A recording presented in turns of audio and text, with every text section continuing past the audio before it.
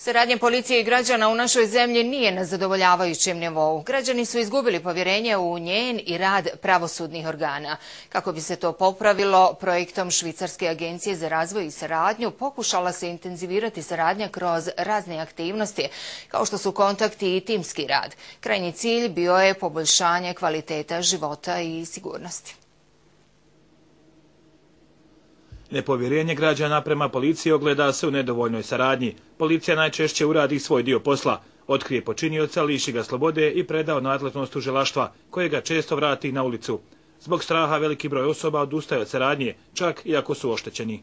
Prvo mi moramo osnažiti cjelokupan lanac borbe protiv kriminaliteta. Dakle, u svim segmentima. Policija, tužilaštvo, sudove, izvrš, institucije za izvršenje krivičnih sankcija moraju podjednako, sinhronizovano raditi kako bi bili daleko uspješni. I moramo naravno postavljati prioritete.